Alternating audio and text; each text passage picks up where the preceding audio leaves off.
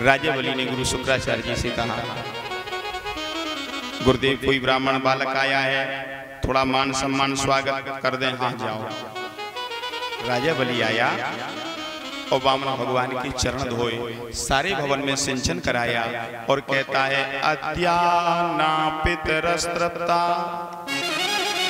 अद्याना पावितम coulomb. महाराज, आपके आने से मेरा घर मैं, मेरा यज्ञ मेरे पितृ सब तृप्त हो गए। हमें ऐसा लगता है, राजा बलि बोला, कि आप हमसे प्रसन्न हो गए, यज्ञ भगवान ही तो नहीं, प्रकट हो गए। भगवान बोले, नहीं नहीं, हम एक ब्राह्मण बालक हैं। हमने तेरे यज्ञ का नाम सुना, सो हम तो दर्शन करने चले आए। राजा बलि हाथ जोड़ के बड़ा बड़ी कृपा की इस समय हम यज्ञ के यजमान हैं। संत ब्राह्मण भक्त जो भी आता है दान देते हैं। और इतना दान दे रहे हैं महाराज के वो याचक बन के आता है लेकिन हमारे यहाँ से अयाचक बन के जाता है। कभी उसे मांगना नहीं पड़ता। तो बामन भगवान ने बड़ी तारीफ़ की। अरे ऐसे तुम क्यों नहीं होगे? तुम्हारे घर परिवार से हम बहुत दिन से परिचित हैं। सुराजा बली बोला, कब से परिचित हो? कहा, तुम्हारे पितामह बब्बा प्रहलाद जी के हमारे बहुत अच्छे संबंध थे। उनके पीछे स्वयं भगवान परमात्मा खम से प्रकट हो गए। राजा बोला, छोटा सा बालक हज़ार वर्ष पहले की बातें बता रहा है, इसके भजन का प्रभाव है। फिर कहा तुम्हारे पिता जो विरोचन थे ना वो तो बड़े धर्मक धर्मात्मा जैसे माता पिता कुल खानदान वैसे ही तो संतान होएगी। राजा बलि बड़ा प्रसन्न हो गया। अरे महाराज जी आप तो बहुत दिन से हमारे घर परिवार से परिचित भगवान बोले हम वैसे जाते आते कहीं नहीं है भगवान बामन बोले। हमने सोचा चलो ये भगवान के दर्शन करें आए सो हम चल दिए और यहाँ तक चले आए। राजा बलि बोला महाराज अब तो कुछ दक्षिणा मांग लो। जिससे हमारा मान रह जाए, आपका सम्मान हो जाए। तो बामन भगवान बोले, हमें जाना, मांगने की आदत नहीं है। हम तो वैसे ही दर्शन करने चले आए। लेकिन राजन तू बड़ा प्रारब्ध और भाग्यशाली है। हमारा तो यही काम है, संसार में भ्रमण करते हैं। यज्ञ, मठ, मंदिर, तीर्थ यात्रा, यही हमारा काम है। लेकिन जहाँ भी हम गए, वहाँ तुम्हारा नाम सुना हमने। बड़ी तारीफ़ पर तारीफ़ की। और संसार में बहुत बड़ी तारीफ़ हो गए आदमी को अभिमान ना आए। सम्मान को जो झेल जाए, वही मानव है।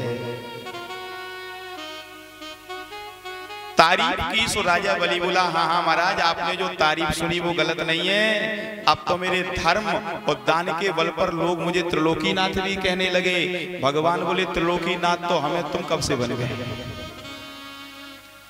बस यही थोड़ा चलने का मौका मिला। भगवान बोले, देखो, राजा बलि, हमारी पूर्ण कृपा तुम्हारी ऊपर है, लेकिन हल्का सा जी अभिमान जब तक तुम्हारे हृदय में रहेगा, तब तक संपूर्ण कृपा हम कैसे करेंगे? इसे भगवान, हमने बताया, अपने भक्तों के हृदय में अभिमान नहीं रहने देना चाहिए। अंकुर गर्भ तरु भारी उस अभिमान के अंकुर को भगवान मिटा देना चाहते हैं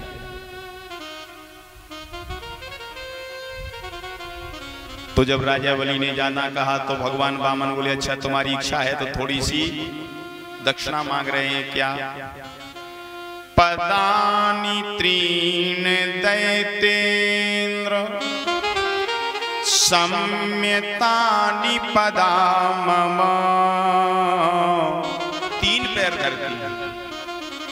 राजा बलि हाथ जोड़ के बोला बा महाराज अभी भजन किया है, तप जप, माला जपी, ये पता नहीं है, बड़े आदमी से क्या मांगना चाहिए? मांगना भी नहीं आता। ऐसी लघु याचना से मान क्यों घटाते बदनामी होगी, संसार के लोग कह राजा बड़ी बड़ा लोभी है। एक ब्राह्मण को तीन पैर धरती, दस, पाँच, पचास बीघा दे देती। सोना चांदी खजाना में से कुछ दे देता। तो राजा बलि से वामन भगवान बोले, देखो, देना हो तो दो। और नहीं देना हो तो नहीं दे।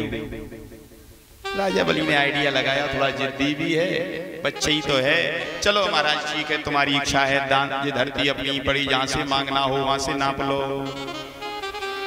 बामन भगवान बोले, ऐसे नहीं, तुमने दिया, तुम्हारी पत्नी ने मना किया, पंडित जी को बुलवाओ, गांठ जुड़वाओ, संकल्प होगा, तब लेंगे। अब ये सब बातें शुक्राचार्य जी सुन रहे थे, गुरुजी राजा बलि के बैठे यज्ञशाला में अविद्वान थे त्रिकालदर्शी महात्मा। उनने ध्यान लगाया, सोचने लगे, बालक है, कोई बवाल तो नहीं आ गया सोच समझ गए। क्या समझ गए? ये बैकुंठ में रहने वाला साक्षात भगवान है।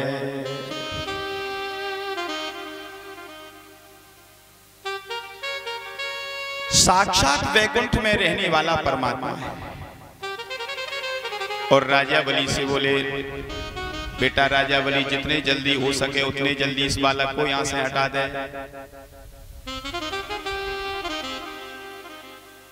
तो राजा बलि बोला, गुरुदेव, जो भी संत ब्राह्मण आता आप कहते, सम्मान करो, दान, दक्षिणा, भोजन।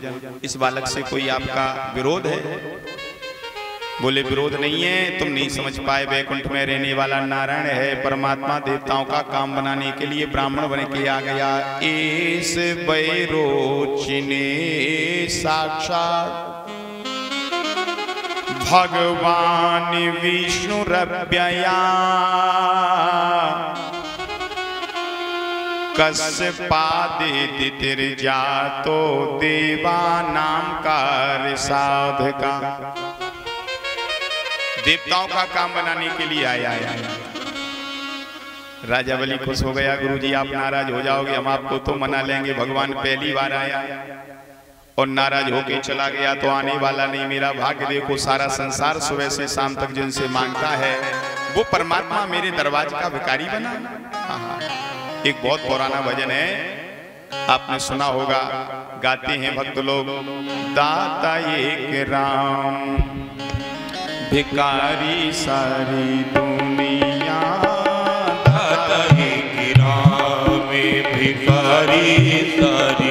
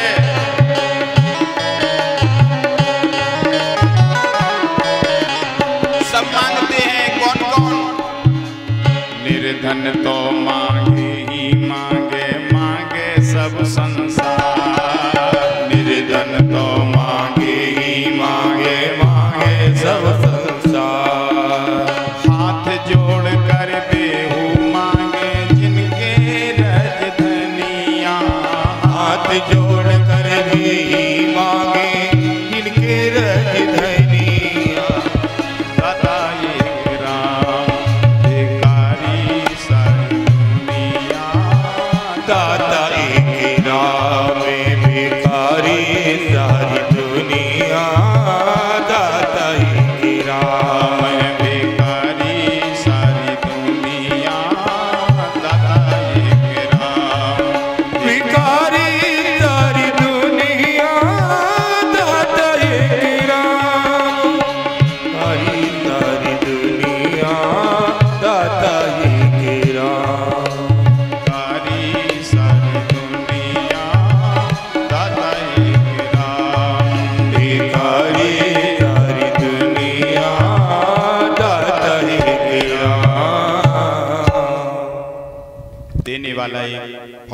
लेने वाला संसार। आज मेरे प्रारब्ध देखो। गुरुजी नाराज़ होकर के चले गए। दृढ़ पंडित मान गया बहुत बड़ा पंडित मानता है। तो भगवान वामन बोले अब गुरुजी नाराज़ हो गए। अब तुमने कहा सो हमने तीन पग धरती मांग ली। अब तो राजा बलि बोला वो गुरुजी हम उन्हें मना लेंगे। हम छत्री हैं। जो आपसे कह दिया वो करते हैं, इतनी धरती अपनी जहाँ से नापना है, वहाँ से नाप लो। संकल्प हुआ तो बामन भगवान बड़े, और कितने बड़े बोले, तद बामनम। रूपमवर्धिताद्भुतम् हरेरनन्तस्य गुणत्रयात्मकम्। इतने बड़े? भगवान का विराट स्वरूप हो गया पग पाताल। शीस अज धामा भगवान ने जब विराट स्वरूप बनाया तो सबसे ज़्यादा लाभ जामंत जी महाराज ने लिया। उस समय जामंत जी महाराज जवान थे तो इस स्वरूप की सात परिक्रमा दी जामंत जी ने दो घड़ी में एक घंटे से ढाई घड़ी का एक घंटा होता है समुद्र किनारे जामंत जी यही कह रहे, जब कोई समुद्र उस पार लंका में जाने के लिए तैयार नहीं हो पा रहा है, क्या करें हम? बुढ़े हो गए। बंदरों ने कहा, बाबा, कभी कुछ किया है? तो कह रहे थे हाँ बलि बांधत प्रभु बाण। सो तनु बरनी न जाए। उभय घरी मह दीन्यो सात प्रदक्षिण धार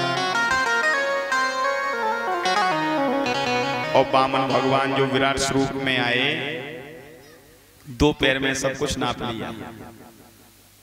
एक में नापी पृथ्वी, दूजे में आकाश। तल वितल तल जो सुतल नीचे लोग है ना वो बोआ सुहाजना जो सात लोग ऊपर है। तीसरा पैर खाली रह गया। कहा रखे राजा बलि से बोले, जो ब्राह्मण को दान दे के पूरा नहीं करता, नरगामी होता है। तीसरा पैर खाली है। तो राजा बलि ने कहा, महाराज, अभी तो ज़मीन, संपत्ति धन दौलत ना पाए। राजा बड़ा होता है या राज्य बामन भगवान बोले, राज्य नहीं, राजा बड़ा होता है। क्योंकि राजा के अधिकार में ही राज्य है। तो राजा बलि बोला अभी तो धन संपत्ति ज़मीन जायदाद नापी है। राज्य का मालिक इस सामने खड़ा है, हम लेटे जाते हैं, तीसरा पैर हम पे रख लो। ऐसा करना नहीं था। भगवान विराट स्वरूप में बोले, धन्य हो राजन, जैसा नाम सुना वैसा काम देखा। आज सत्यता की घड़ी में परीक्षा में तुम सफल हो गए। हम इतने प्रसन्न हैं, वंशी मांग लो राजा बलि बोला क्या मांगे आप यहाँ तक पधारे? राजा बलि की पत्नी रानी विंध्यावली बगल में खड़ी हैं। विंध्यावली से भगवान बोले, देवी, तुम्हारा पति कुछ नहीं मांग रहा तो तुम मांग लो। छत्राणी है, नाराज़ होकर के बोली, वाह, दो मिनट पहले हमारे पति के दरवाजे भिकारी बने खड़े थे। अब इतने दान वीर हो गए, वो उत्तर दिया कि भगवान कुछ उत्तर नहीं दे पाए। विंध्यावली कहती, लौट के गंग पछो ही बहे हम मांगत नाही मांगे वालों से हम क्या मांगे? तब तक प्रहलाद जी आ गया प्रहलाद जी बोले, बेटा, इनसे संसार माँगता है, तुम भी कुछ मांग लो। अब बब्बा की सिफारिश। तो राजा बलि बोला, महाराज, एक वरदान दोगे के दो चार? बामन भगवान बोले, हमने तेरी कठिन परीक्षा ली, जितने वरदान तू मांगेगा, उतने देंगे। तो राजा बलि बोला, महाराज, जी धरती तो राज हमने आपको दान कर दी अब यहाँ हम नहीं रहेंगे। फिर कहा, सुतल लोक में बढ़िया सुंदर महल बनवाओ, वहाँ रहेंगे।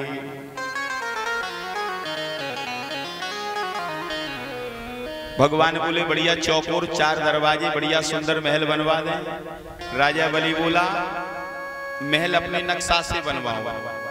और दरवाजे हमारे हिसाब से बनवाओ। कितने दरवाजे? बोले, तेरह दरवाजे पूर्व में, तेरह पश्चिम में, तेरह उत्तर में और तेरह दक्षिण में। अब तेरह का चार बार पहाड़ा पढ़ो, तेरह चौको, बामन। राजा बलि बोला तुम भी बामन अंगुल के बन के आए सो एक एक दरवाजे को बदलो एक एक अंगुल से ले गए। रात्रि में देवताओं के कारीगर विश्वकर्मा को आज्ञा दी। बढ़िया सुंदर सुतल लोक में महल बन गया। राजा बलि से बोले, अब चले जाओ। महल तैयार है। राजा बलि हाथ जोड़ के बोलो, ये कई वरदान दे के चले अरे महाराज, यहाँ तो सब व्यवस्था जान पहचान अब नया राज्य है, राजा राज्य करे और रक्षक द्वारपाल अच्छा हो तो राज्य करने में मन लगता, कोई भय नहीं रहता। तो दूसरा वरदान ये दो, हम तो करें राज्य डंडा लेके द्वारपाल बन के राज्य की रक्षा करो भगवान बोले, इतना कठिन वरदान? चल भैया, हमने तेरी कठिन परीक्षा ली। सुतल लोक का राजा बन गया बलि। और भगवान डंडा लेके द्वारपाल बन गए। देखो इसका प्रारब्ध भाग। अब ऐसी घटना घटे तो नारद जी को बड़ा आनंद आता है। नारद जी पहुँचे और भगवान से बोले, भक्तों को बहुत परेशान करते थे। अब लग गई पक्की ड्यूटी, अब लगेगी अक्कल ठिकाने। तो भगवान बोले, देखो देखो नारद जी, भक्तों के पीछे सब करना पड़ता। अब जो हुआ, सो हुआ, किसी से कहना नहीं। नारद जी बोले, नहीं नहीं, हम किसी से नहीं कहेंगे। और नारद जी के पेट में बात पच जाए। वीणा उठाया। भगवान की घर में भगवान का भजन करते लक्ष्मी जी के पास में चले। श्रीमन नारायण नारायण। नारायण श्रीमन नारायण नारायण। नारायण भजमन नारायण नारायण। नारायण भजमन नारायण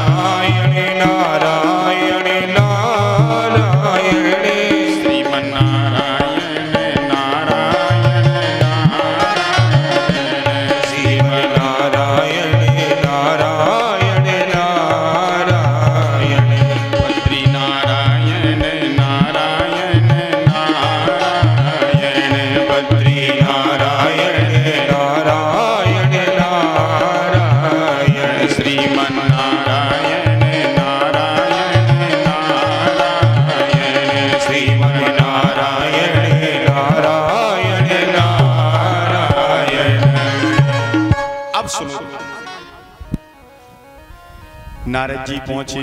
देखो, एक बात आपको बताएँ, नारद जी, कहीं भी पहुँच जाएँ, सब जगह सम्मान, सब जगह फिट दैत्यन में देवतन में स्त्रियन में पुरुषन में कहीं पहुँचे। सब सम्मान करते। सम्मान नहीं करेंगे तो ना जाने कहाँ की काम बिंदाए देवे हमें भोगना पड़ेगा। लक्ष्मी जी के यहाँ पहुँचे, लक्ष्मी जी उदास बैठी हैं। छह महीने से जिसका पति घर में नहीं, वो देवी जी उदास नहीं होंगी। नारद जी जाके बोले देवी जी बहुत चिंता में हो क्या बात है? देखो सब पता है तो ठेकर से पूछ रहे हैं। तो लक्ष्मी जी बोली महाराज अब आपसे क्या छुपाना? हमारे पति भगवान तो आपको बहुत मानते बहुत सम्मान करते घर के ही सदस्य हो अरे हमारे पति हमसे कह के गए हैं देवी जी एक भक्त की हम परीक्षा लेने जा रहे हैं।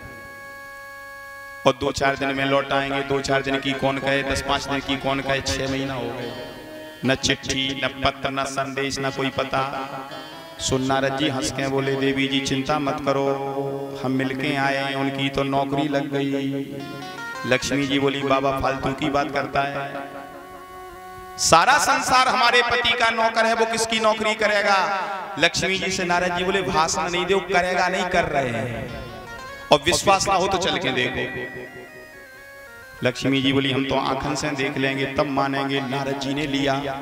लक्ष्मी जी को साथ में और एक कोने में आकाश मार्ग में खड़े हो गए। देखो, अब राजा बलि का रोज का नियम है, सवेरे चार पाँच बजे घोड़ा पे बैठता है, पूरे नगर का भ्रमण करता है। साधु, संत, ब्राह्मण, स्त्री, पुरुष, प्रजा, कोई दुखी तो नहीं है। यही तो राजा का कर्तव्य है।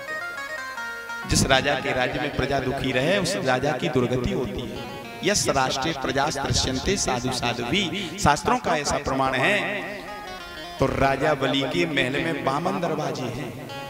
कबू जब महल से निकल जाए कबू जब महल से निकल जाए, कभी सामने से। अब मेन दरवाजे से आज तक नहीं निकला राजा बलि। आज मूड की बात, राजा बलि घोड़ा पे बैठो और सोचने लगा, उसी दरवाजे से निकले जिसपे परमात्मा द्वारपाल बना खड़ा है। और जैसे ही मेन दरवाजे से निकला, अब भगवान घबराए। संसार के लाने भगवान है। अब जी, हम और राजा, हम जाके चौकीदार, जाका। सम्मान तो करना ही पड़ेगा। सो जैसे ही राजा बली निकलो और भगवान ने सलूट मारी।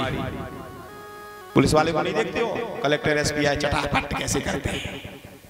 जैसे ही सलूट मारी सो राजा बली बामन भगवान से बोला शाबाश बहुत होशियार हो जब जब निकले तो ऐसे ही नमस्कार किया करे। नारद जी बोले जे ये तुम्हारे पति देखो भाई लौट के नमस्कार कर रहे तरवा से लेके लक्ष्मी जी को चुटिया तक आग लग गई कहाँ फंस गए? लक्ष्मी जी बोली ये, ये द्वारपाल कब से? अरे छह महीना हो गए। कब तक रहेंगे?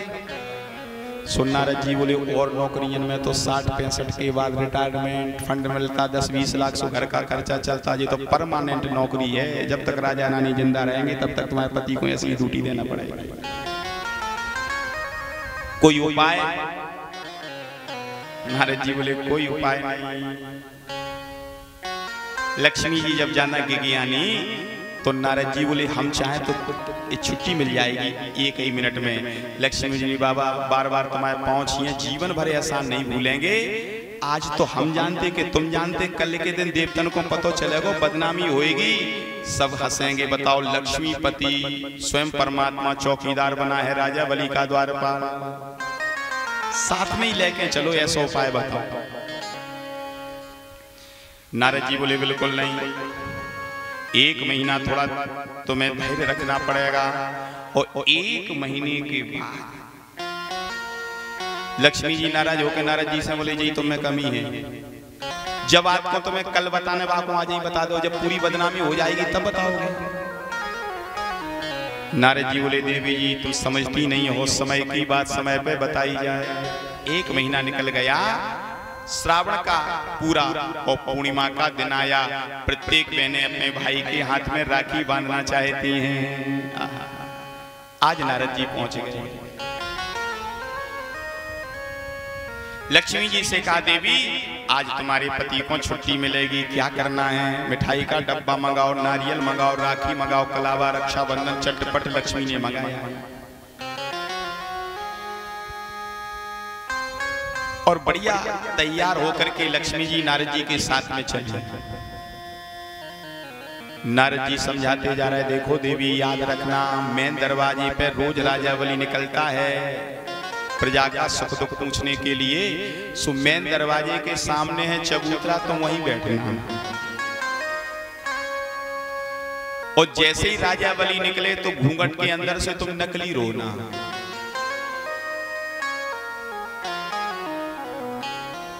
और जैसे ही तुम नकली रोंगी राजा बलि देखेगा, कोई देवी शिकार करने आई है, और जैसे ही राजा बलि तुम्हारे पास आए तो राजा बलि पूछेगा देवी जी, काय को रो रही हो? सो कहना, एक पंडित जी कह रहे थे कि वो बहन बड़ी भाग्यशाली है, जो आज अपने पति के हाथ में राखी बांधेगी।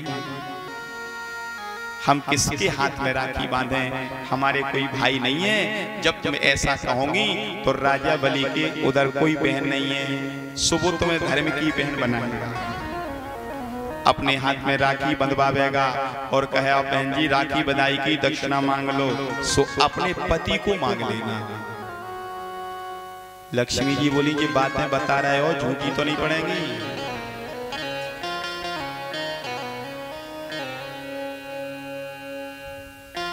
नारद जी बोले हमारा नाम है नारद। जिनकी बताई भाई बात आज तक रद्द न भई हो। नारम ज्ञानम ददाती थी नारद जो सबको ज्ञान दे।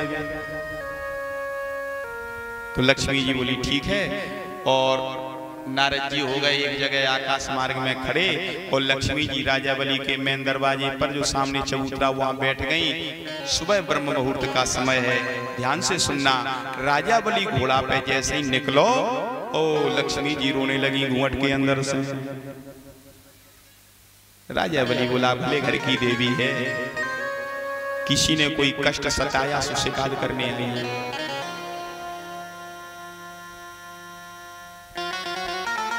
शिकायत करने आई है। राजा बलि घोड़ा से नीचे उतर के बोला, देवी, ये राजा बलि का दरबार है, यहाँ न्याय मिलता है। जिसने अब्द शब्द बोले, उसकी जीवा कटवा दे। जिसने हाथ उठाया हो, उसका हाथ कटवा दे। और जिसने कुदृष्टि से देखा हो, उसकी आँख निकलवा दें। तो लक्ष्मी जी बोली नहीं नहीं। ऐसा कुछ नहीं है, यहाँ के लड़का बहुत अच्छे हैं। हम रास्ता भूल रहे। सुबह यहाँ तक भेज गए तो राजा बलि लक्ष्मी जी से बोला, क्यों? फिर बताओ, कऊ भले आदमी के दरवाजे बरस बरस के दिन आँसू बगरावो, अशुभन रोवो, अच्छी बात है? आज कितना अच्छा त्योहार है। प्रत्येक बहने अपने भैया के हाथ में राखी बांधेंगे